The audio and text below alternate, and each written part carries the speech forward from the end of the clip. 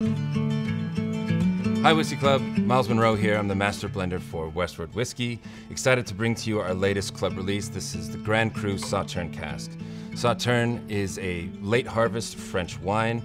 Um, very sweet, really fruit forward, so we knew it'd match well with Westward. I looked for these casks for, for quite a while. This really is something I've been working on for years. I wanted to make sure we found the right ones from the right producer, from the right region that had just the right specs that we needed. And we found the right ones finally. This particular Sauternes cask that we got, the producer uses 95% Semillon, 5% Sauvignon Blanc, again from the highest classification region in Bordeaux.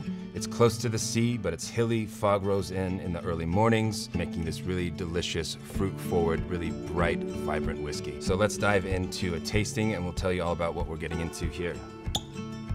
So as I said, Sauternes, uh, known for its great honey and fruit notes, great flavor match with Westward. On the nose, honey, white peach, a bit of citrus peel. On the palate, honey drenched peaches, pineapple, a nice acidity, a little flash of ginger also. In the finish, more citrus, a bit of apricot, uh, floral notes of jasmine, orange blossom, and a bit of cedar to really lengthen that palate out in the very end. This should be drank with honey-covered peaches. Really, you should try that. Classic pairing for Sauternes is foie gras. This is no exception. A nice Roquefort as well. Any shellfish dish is also gonna match wonderfully with this whiskey. So pick up Grand Cru Sauternes cask, and uh, we hope you enjoy it. Cheers.